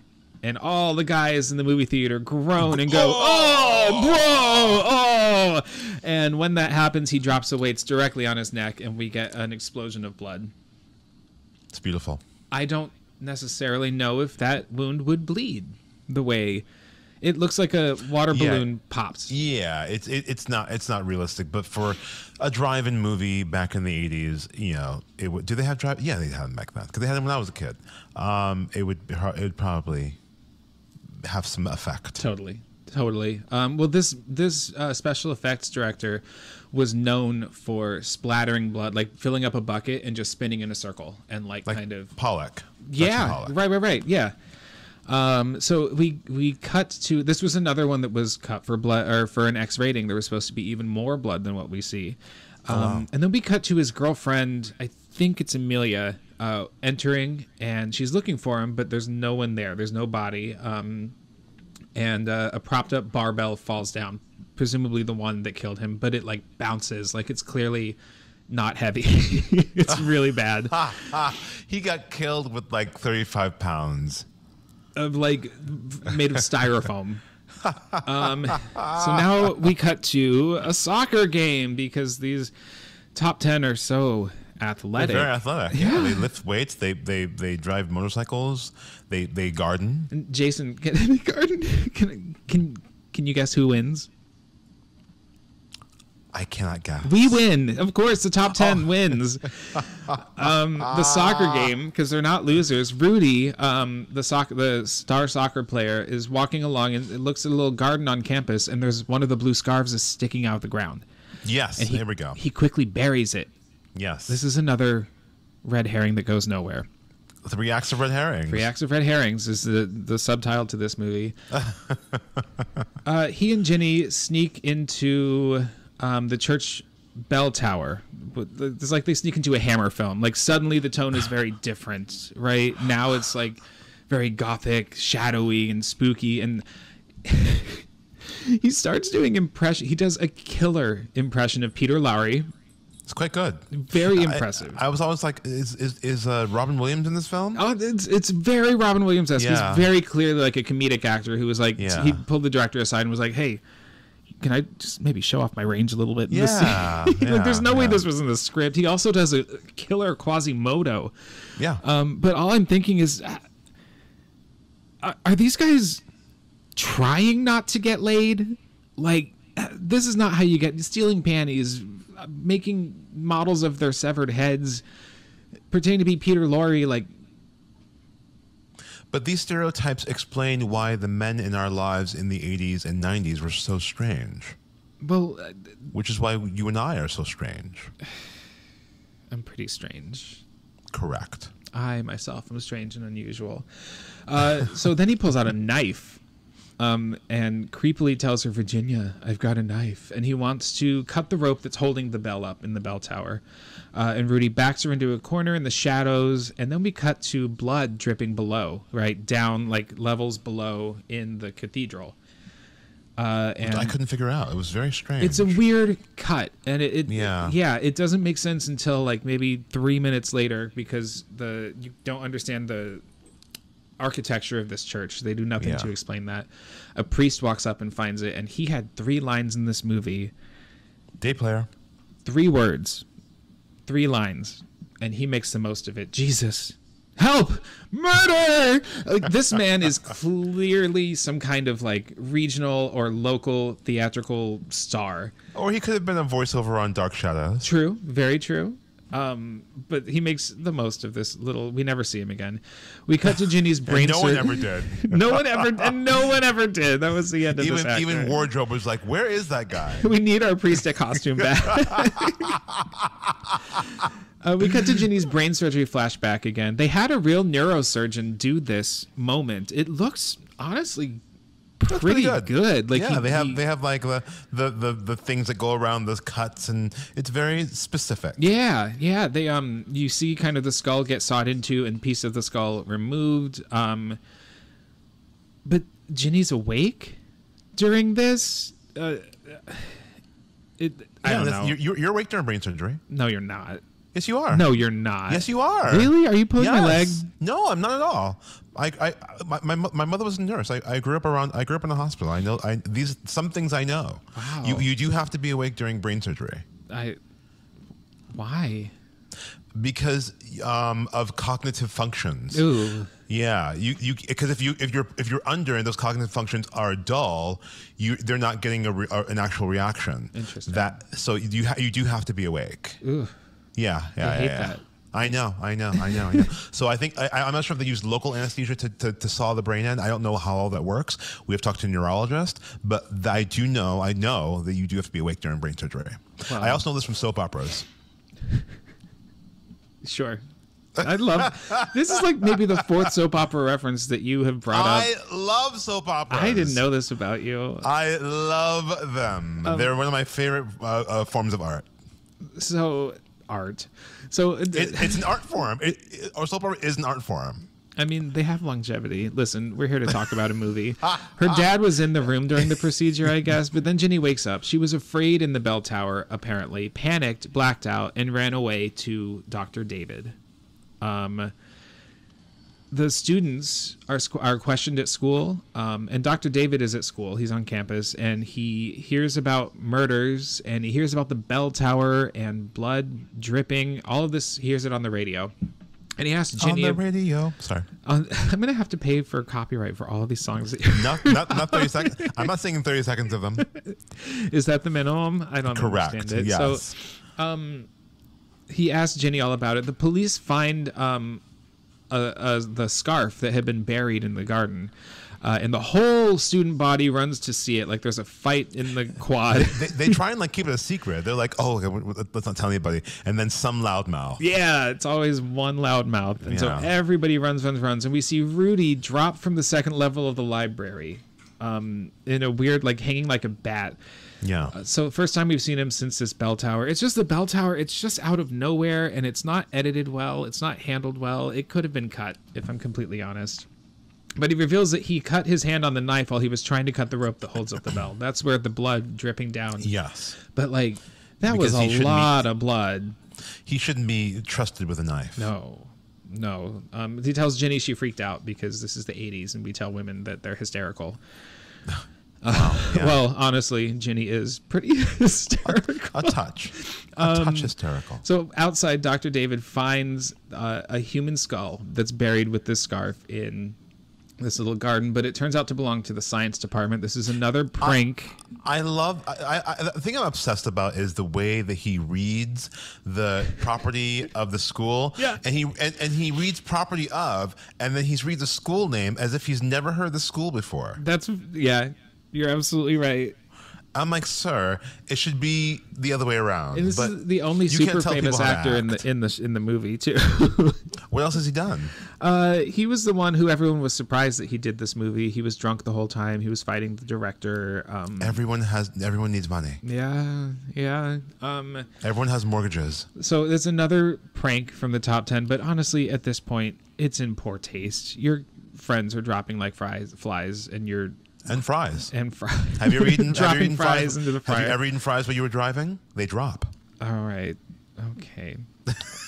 Gin- so Ginny's birthday is coming. We're reminded what the fuck the name of this movie is an hour into it finally. Um, and she invites Dr. David to dinner and he agrees that they'll have dinner. Now we cut to the kids smoking weed under the swimming pool. Like the swimming pool, there's a window into the deep end, right? They're swimming like they're sitting like adjacent to the swimming pool. Does that make sense? There's like a wall between them and the pool. Yes. They are underground. And there's a window um and Ginny sees someone is it her friend Amelia? I don't know. Someone sinking Swimming, under the sinking, water yeah, who yeah. looks dead. And Ginny remembers uh, someone drowning. She has a memory of someone drowning. Is it her mother? Yes! And Ginny runs off, and we do see this person's eyes open. So it was another prank by the top 10. Um, The senseless ignition of, of trauma is is so amazing in this film. Yes, completely. Like these kids.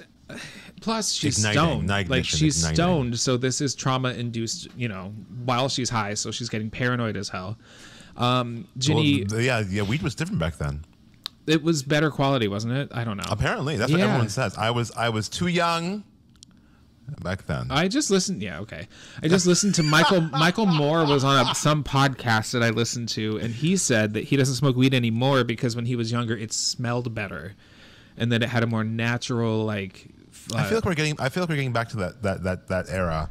I gotta say, and I don't smoke weed anymore, but like Mm-hmm. I was walking down the street the other day and I smelled weed that I had never smelled before.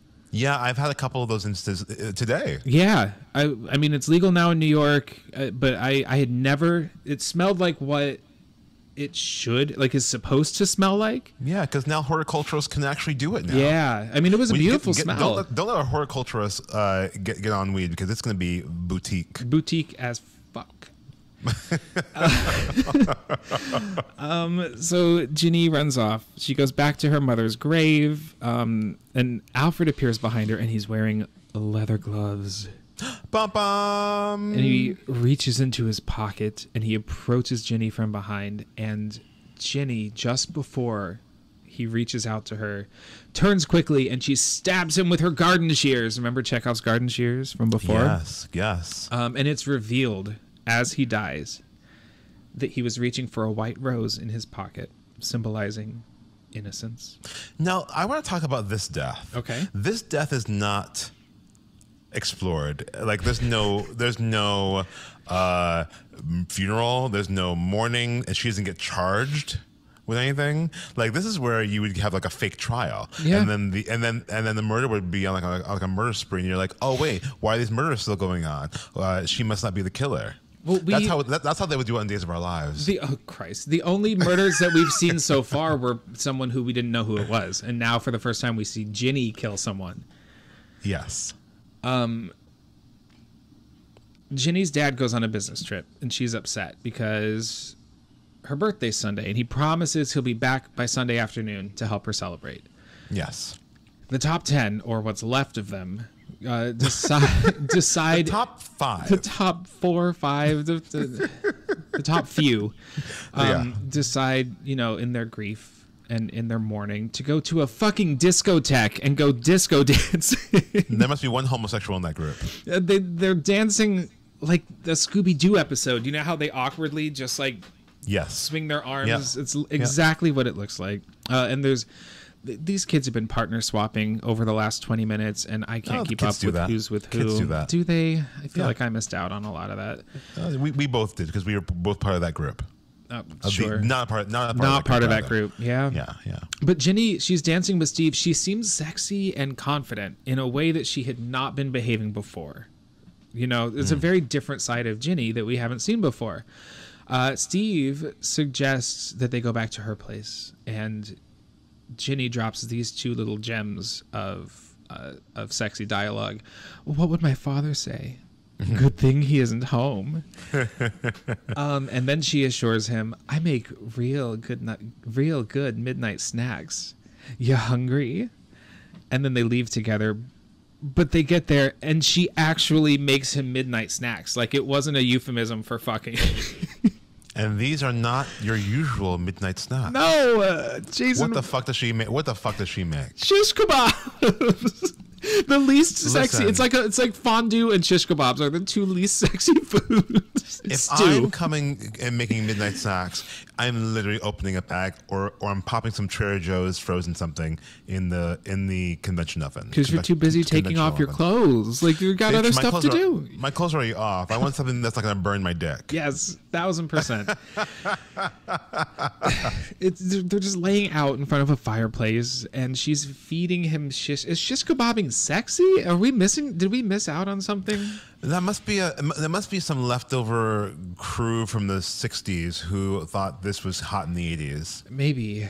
I, she's feeding them to him, and then she gets a wild look in her eye, and she shoves the shish kebab into his throat, out Love the it. back of his head. This is the famed movie poster moment, right? It's glorious. But it's not the guy who dies that's on the movie poster. the movie poster calls him John. It says, I think it says, John will never eat shish kebab again.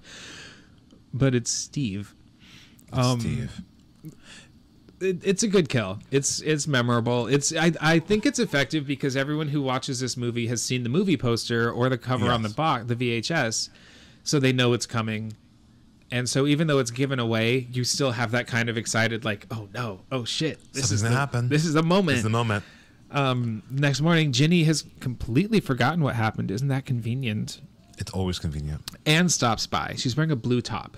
Um, and she waits downstairs while Ginny goes and showers. And in the shower, she remembers the night her mom died. Now, for me, this is when the movie gets good. And it's like an hour and a half into the movie. she, um, she drank and she drove off some drawbridge, the same drawbridge from before. So that's how her mom died. We see the car fall four times into the water.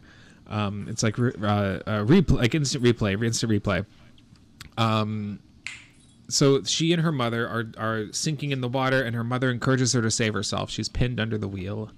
Um, she Ginny is uh, very upset. Clearly, these are her final moments with her mother. Uh, she opens the window, rolls it down. Remember, roll down windows in You're cars. supposed, you're supposed to, if you don't know, if you fall into the river in the car, roll down the window. Does it still work if it's an electric window and you're underwater? I don't know. I don't know either. But but but but but if you're gonna die, you might as well try. You might as well go go out fighting, go out swimming. um, so she rolls down the window, she climbs out, and then a male stunt double swims up to the surface. In a bad wig. Very clearly a barrel-shaped body, no waistline, just a man in the same white dress in a bad wig swimming up to the surface, and she uh, smashes her head on a passing barge or ship or ferry or something. And then when she comes to, um, meaning like back to present, the flashback is over. Anne is dead in the bathtub with her throat slit, and there's water just pouring everywhere out of this bathtub. Love it. She screams for Dr. David, who conveniently arrives at her house. And she tells him, Oh my God, I killed Anne. Come, come, come. And she shows him, but the body is gone. And there's no water all over the place. Pum pum. So she is clearly having a, you know, a hysterical A episode. moment. She's, yeah, Yeah. she's really losing her grip. Um, Doc, that Dave says they have to find the link between her trauma and her friends. And Ginny realizes she was triggered when her friends made her race over that same bridge where her mom died.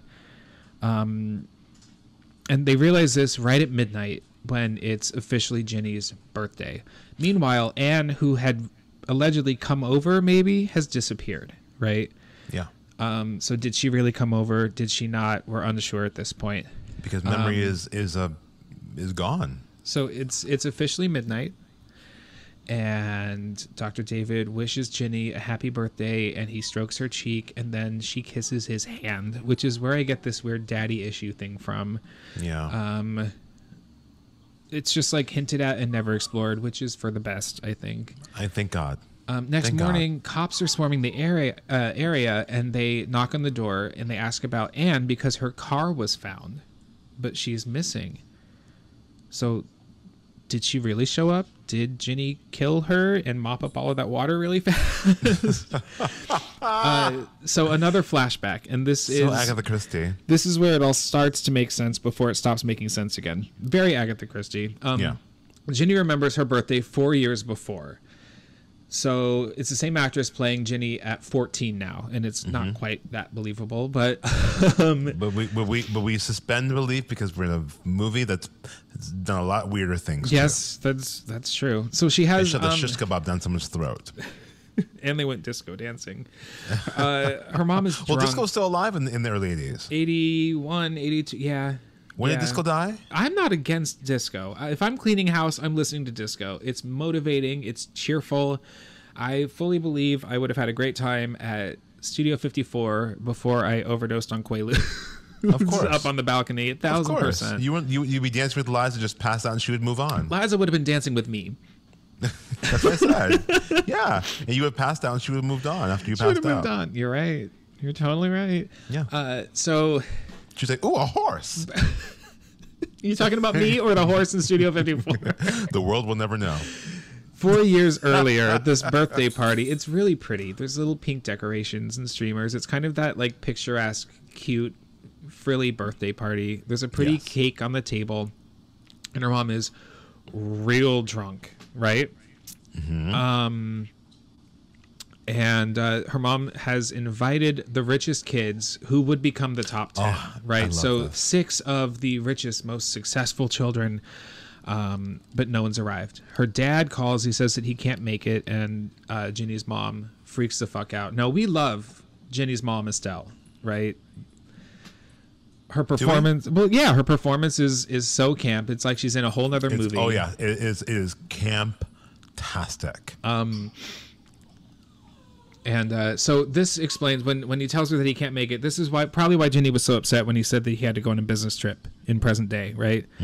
Um, so the kids don't come to her birthday because it turns out Anne is throwing a party and they're all there instead. And Ginny's mom says, "Well, I'll call them and make them come here instead." And and Ginny says, "They don't even know who I am, mom." Like she's humiliated. Drunk mom makes Anne get into the car and they drive up to the front gates of Anne's mansion In the rain. in the rain, Pouring, pouring rain. down rain. The gatekeeper, which is this maybe some symbolism, the gatekeeper of the mansion. It's very once in this island. Mm. Yeah, yeah, kind of the the haves and have-nots, the Yeah. the separate classes. Yeah. um, tells Ginny's mom, the gatekeeper tells Ginny's mom that because of who she is, she will never be accepted, even though she's rich now. Like you can send your little girl to that school, but you'll never be a part of them. Um, and this is coming from the help. Like if you're hearing that from the the hired New staff, money, new money versus old money is a real, very real thing, and, and the help understands that it's true. That's true. Better than anybody in this movie. better because they see it. they see it. Honestly, we could win the lottery tomorrow, and we we could be we could have more money than people with old money, And and, we'll still not be, a a- rock. We'll never be a Rockefeller. Yeah. Yeah. You will never be a Rockefeller. You will never be. I was thinking about that th- with the with the Queen dying. Like, what an interesting thing. Like, no matter we all idolize these people, but like, we'll never ever ever be them. Never. I have stopped. I've really stopped. I, I mean, I used to really like. I watched the you know the weddings and the funerals, and I I didn't tune into anything with Queen Elizabeth's passing, And It was boring as fuck. Well, I you, I- you did the right thing. I don't feel any connection to it, you know. And I just feel like the world has changed so much since the Yeah. last royal event. Um, and it is, you know, it's it's it's sad in its way, you know, but their their complete their existence, the mere fact that that the the royal family exists is just an out of date. I don't know expression of we are you are less than us because we tell you so. Because we told you so. it's 'Cause who the fuck are they? Bloodlines. Who the fuck are they? Yeah. They just were conquerors. Yeah. I don't know enough about it to get that into it, and we're gonna get back to the point of the movie. I do wish that the, this movie had driven this point a little further. The separation Yeah, between it's, it's it's important. It's important. It's, really it really is the film. Yeah, yeah, but it, there's too many red herrings. Red and too Many, herrings. yeah, like uh, plot lines that go nowhere. But um, so um, so unfortunately, Ginny uh, rem- she comes to and she runs away from the doctor. Uh, and she grabs a fire poker and she bludgeons him to death and she kills the most famous actor in the movie. Um, this, out of all the kills, is the kill with way too much blood. You know, Yeah. it's ridiculous. It's But we're grateful for it at this point. at this point something is happening. Something has to. Yeah, yeah, yeah. Because Um, we're reaching ahead. Everything's reaching ahead. We're getting there. Yeah. Daddy gets home with birthday presents in his hands and he discovers the blood and he thinks it's Ginny's. And he's running and running. He's screaming, "Ginny! Oh my God, my little girl!" And it's uh, it started raining, again, just like that fateful night. and uh, he runs into the cemetery in the rain and he finds uh, Amelia, the only friend who hasn't been killed. um, and um, he thinks it's Ginny at first, but she she turns around and she's holding birthday presents and she has a shocked expression on her face. Now I think she was supposed to get killed with an axe originally, and it was cut for the X rating. I think they added this awkward moment of her standing in the cemetery just to show her like not dead. You know what I mean? Everyone else has been killed. Yeah. Um, it's just Wait, weird. what do you mean? Wait, what do you mean? Amelia's standing there with a shocked expression, holding birthday presents, right? Yeah, yeah. It's very out of place, and it doesn't really explain what she's doing there. I think that be, if because they cut the her getting killed with an axe, they wanted to insert that she is actually okay, or that she, just so that no one leaves the movie thinking what happened to Amelia. Um. So then, Daddy runs away from Amelia. He finds Estelle or the mother's grave, and it's been dug up, and Doctor David's corpse has been thrown into the casket. Uh, then he sees a light on in the guest house. It's still pouring down rain. Um, and he goes inside to the guest house, and it turns out that that was the location of Ginny's birthday four years ago. And it's still set with that same cake, birthday cake, the pretty decorations, but of course, it's all rotten now. It's all. Um, I love actually the set design, the production design of Yeah, me too. this Yeah, me too. I think it's so effective. Very It- maca- macabre. macabre. It's spooky. It's well Yeah. Mm-hmm. lit. You know, um, the, the- if only the whole movie had been this effective. It would have Um, been too much. I think. I think it's nice to have the shift. He, that's true. It comes out of nowhere, and you're kind Yeah. of taken into something unexpected. Yeah, that's a I good it. point. Uh, he turns a chair around. He spins it around. And uh, Mrs. Bates is sitting in the chair from Psycho. No, it's um, it's Estelle. It's Ginny's mom, and it, it's Yeah. clearly an ode to Psycho, right? It's Yes. clearly an homage. Yeah. Um, very good looking corpse, I gotta say. It's drippy, it's gooey. There's a maggot in the eyeball. Um, and then Ginny best. Ginny enters with a cake with lit candles, singing "Happy Birthday to Me." Title drop, and uh, the candles.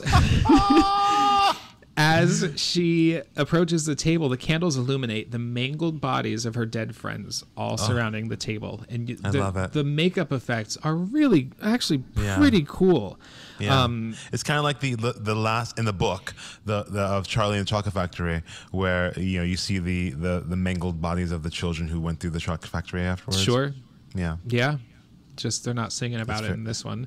Yeah. I know. I wish they would. Um, Next it- time. It looks really good. Her dad is freaked the fuck out. She, Ginny sets down the cake. She puts a party hat on her dad, and she goes, "That's better." It's a cute little delivery. Uh, Ginny's unhinged as hell. She makes a birthday wish and blows out the candles. She asks her dad, "Daddy, do you want a big piece or a little piece?" And her dad just said, "Jenny, baby, what have I done to you?" The doctors were so sure, so sure. So we're going back to this brain surgery thing. If I'm honest, the whole brain surgery thing should have been cut. Like it's not necessary. Mm, well, it's more necessary for that scene than all the other red herring. yes, sure. if, I'll, if I'll, I'll keep the, the, the brain surgery and, and, and, and put away the, the, the, the flowery panties. I, I think yeah, for sure. I I think the writers were trying to get us interested in the other top 10 and they just they were un, it made them unlikable. Correct. So when they Correct. died, you didn't You care. didn't care. Yeah. Yeah. Um, Ginny picks up the cake knife and uh, she slashes her daddy's throat, and he falls to the table. His hand clutches the birthday cake. It's a pretty cool shot.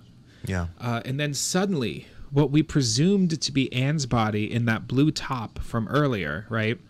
Sitting face down on the table begins to stir, and it's Ginny again, a second Ginny in Anne's blue shirt. Uh, but she, she's been drugged. She looks around the table at all of her dead friends, and we hear these voiceovers of quotes that they've said from the, the movie from before. And again, a pretty effective, cool moment.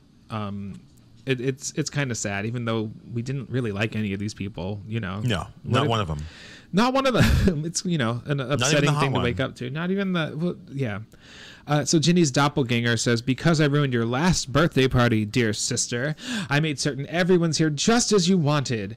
And she tries to kill Ginny. So what's happened is um, the real Ginny was drugged, and her she was put down on the table, and this Mm-hmm. fake Ginny, this new Ginny, is the one who killed Daddy. Yes. Ginny grabs Ginny 2's hair, and you think she's going to rip a plug of hair out. And the, the hand slides. The hand slides, and Jayson, what the hell happens here? We have a Scooby Doo moment where it's it's oh my god it's it's so and so from the from the local farm. It's Mr. Smithers, Mr. Smithers from the local farm. but it's not Mr. Smithers, is it? It's Anne. This Yeah. this fake face comes off, and it it this is such an, a batshit crazy moment. It's such a crazy trope that they use to, to pull this off. Oh my god. Very completely Scooby Doo. This ending comes out of fucking nowhere. So as it turns out, this whole twist happened. Orig- um they they wrote they rewrote this ending halfway through and Anne Oh, found out that she was going to be the killer halfway through the movie. So Al- uh, Alfred must have helped her with these prosthetic face, I would think, Mm-hmm. right? Um and she has set the whole thing up. It turns out that Estelle, Ginny's mom, was her father's mistress, and they are half sisters. And she calls her mom a fucking whore. It's the one f bomb that they drop in this movie. Um, was she's a- appropriate. it was appropriate. It's a good Yeah. moment. It's Yeah. a good moment. She says, "I dressed like you. I walked like you. I even talked like you." Which I gotta say, like Sounds like torture. Ginny's such a milk toast character. You're absolutely right about that. She's the only one that gets any character development, and she's so fucking boring. Uh, so she staged the whole thing as a murder suicide, set up as revenge for Estelle wrecking her home. Um, and and then she tells her, "Now we'll see, or now we'll all know just how crazy little Ginny really was." and she tries to stab Ginny, the real Ginny, but she she grabs the knife and in the lamest kill of the movie turns it around and shoves it into Anne's stomach. Mm-hmm. This whole reveal happens really quickly, It's, and very- I it's like five minutes. it's it's less than I mean it's I kind of I just feel like we've built up we spent so much wasted time that the build up to all of this could have been a little more solid. Or Yeah. do you think it's effective because it's so shockingly quick? And you're just left like what the hell just happened? I think they I think they realized that the kids would be making out by this point. Just they let's wrap it They're up. like, just wrap it up. let, the, let the kids have their kids, and we'll we'll move on. So it is well the the lame the kill is lame. The shot is pretty good because you see the the you see Anne get stabbed, and Yes. then the door opens and the police officer who was asking before about the the car Anne's car um, walks in the door and Police are at always late. always late, always late. Uh, he looks at Ginny and he says, "What have you done?" And then we hear Ginny's voice singing "Happy Birthday to Me," and we fade to black. She went to jail. End of film. Do you think so? What do you think happened to Ginny? She probably went to jail, but I'm sure. I mean, she, she probably was arrested, and then maybe there was an investigation. But this town doesn't seem like they have a very good forensics department, so she probably went to jail. There's no forensics department. No, I don't know. no. She's rich. The, part of The- this the- movie is about think- rich kids getting away with stuff. Yeah. Maybe. Do you think maybe that her, her kind of wealthy privilege might get her out of it? Maybe, maybe. Do you think we're reading too much into a I think I mediocre much movie? into it. I think I actually think that the the the uh, the police chief is a is a rabid raccoon. I don't think that In a trench uh, coat? Yeah, yeah. It's like five. It's like five raccoons in a trench coat. So I don't think anything will ever come of it. And as soon as it fades to black, they all jump on the table and start eating the birthday cake. Ah! exactly. then that, my friends, is happy birthday to me. There's an end credit song. Not a lot of horror movies get an end credit song. Pet Sematary had one. I think Fright Night had one, but so this one, it's sung by a recording artist named Syreeta. She was the ex-wife of Stevie Wonder, actually, and it's a really Wow. spooky tune. It's so crazy that Stevie Wonder has an ex. yeah, I mean, I don't really know much of anything about his life. I'm surprised there hasn't been a Stevie Wonder movie. There will be once he dies. Yeah, they all they tend to wait, don't they? Yeah, they wait till they die. Um, This movie brought in 10.6 million, but it was only made for 3.5. So that's that's a big They, budget for they that made, time. they, they made they made some money. They made their money again. they're continuing to make. It's on Crackle. Uh, You, you have to pay for it on every other um, streaming service, so you, they're making some money. that's true. Even Someone's making money. someone's getting that money. I don't know who is. Um, the critics hated it, which is not surprising. Um, but I, I do think it's interesting because the movie plays with that supposed final girl also being the killer thing, but then Yeah. it's only. It's just it, it has like a rushed, confusing ending in the last Yes. twenty. You know, the last twist. I think it's about twenty minutes too long.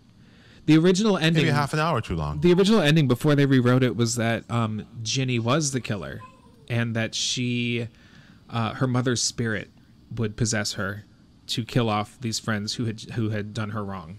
Mm, that's horrible. It's lame, right? This Even Friday, batshit even, ending. even Friday the Thirteenth didn't do that. no, Friday. No, you're right. Um, Even though they could have. this ending They could have. This ending, I think, is even though it's silly, it's better. It leaves you just Yeah, it's it's it's it's, it's a good moment. You're like, oh, okay, well, something at least something was going on, and you move on. So it was part again. I, I mentioned part of the exploitation uh, series of horror movies, uh, Prom Night, Terror Train, My Bloody. Valentine. But so this, well, it was kind of a part of aside from being Canadian exploitation, uh, you know, it's kind of one of those like special occasion or or uh, holiday horror movies Yes. with the theme like Prom Night, Graduation Day.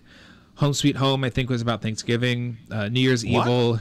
I don't know if I've seen that one. It's not. It's fine. I don't know. I thought about Okay. doing it in November this year, but I'll wait until next year. Okay, all right. Um, Slumber Party Massacre, Friday the Thirteenth, right? Um, Yeah. They ran out of holidays, and now we have no original stories left to tell. Well, I would like to see more. I mean, there are more holidays. I mean, can we have a Columbus Day? I mean, I guess Columbus Day. We just show the story of, of Christopher Columbus. It just is a horror film. movie. Yeah. It is a horror film. Uh, do we have New Year's? We have New Year's. We must have New Year's. New Year's Evil. Oh, I've not, I've, I've not seen it. It's cute. Uh, It's- is, is, is, is there? Um, how about National Donut Day?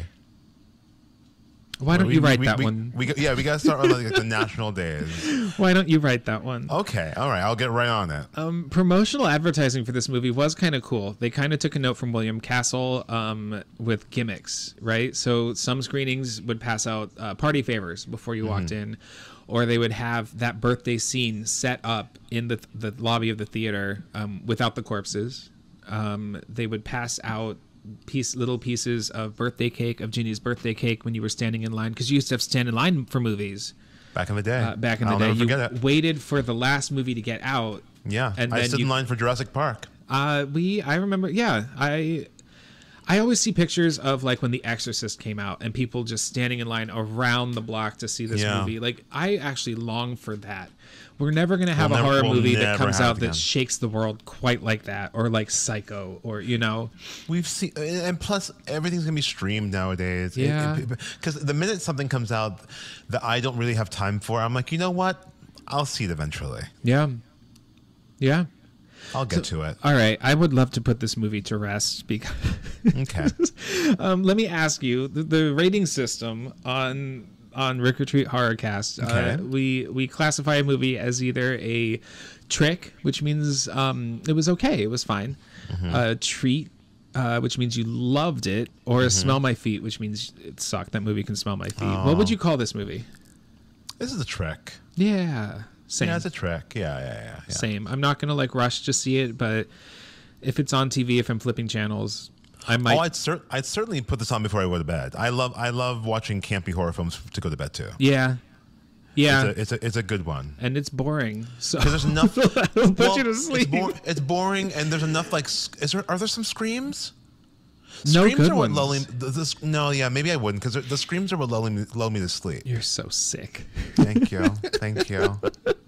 well, Jayson, I'm really grateful that you took the time to be a part of my very first episode of the podcast. I'm really, I'm really so glad you invited me. really this is great. It's been honored. really wonderful. It's it was great to watch because I thought you meant I, I when you first told me about this film, I thought you meant uh, uh, what was the other one? Uh, not happy, birthday, to me. Yeah, Happy we talked about it Me. earlier. Yeah, yeah, yeah. Uh, I thought it was that, so I was like, "Oh, I already know this." It, it, it, it's a really cool one, especially the sequel. Uh, but I was I was grateful to know it was something else and Yeah. something just as campy. Something, yeah. See, Actually, well, something yeah. a little new for sure. Yeah, new and campy. I love a new horror film. Um, well, it was a great birthday gift to me to have you on this show. Um, Happy forty first. How fucking dare you? uh, do you uh, do you want to plug anything? Do you, do you have any projects coming up? What about your social media? You can always find me at uh, Jayson L. Kerr, J A Y S O N L K E R R, on Instagram. You can always swing by and tell me I'm pretty. You find me on any of the uh, uh, dating apps, find me and tell me I'm pretty, and I will always answer back because Yes, I am I am a slut for attention. Because she's thirsty. Because she's thirsty. Uh, she is and, always thirsty. uh, you can find me, myself, Ricky, at at Rick the letter R treat on Instagram, Rick the letter R tweet on Twitter, and you can follow the podcast at Rick at Rick or Treat Pod uh, on Instagram. I'm going to set up a Twitter that will probably have the same handle probably by the time this episode drops. Love it. Um, and I also write reviews for a website, spoilerfreereviews.com. I review movies and uh, television shows, and it's uh, it's it's a lot of fun for me. And um, it, it's if, it's just if you want to continue my opinion, if you want to continue to hear my opinions about things, check that out. And it's uh, unlike this episode, no spoilers. You can freely and safely read things on that website. And This, yeah, this this podcast is lousy with spoilers. Lousy. Uh, next week we're gonna have our first, my first uh, Disney villain profile. It's a series we're calling Evil Queens because we're Oh, queer. I love that. Uh, and in in honor of uh, Hocus Pocus dropping, we're gonna profile um, the Sanderson sisters. Uh, and talk about their history and just kind of our connection to them. And I'm going to have a, a, another very special guest on. But Jayson, I do hope you'll come back uh, and be a guest again on this podcast. I would love to. Thank you again for having me. This has been really wonderful. Absolutely. It's an honor. And um that's what I've got. All right. Later, spookies. Bye.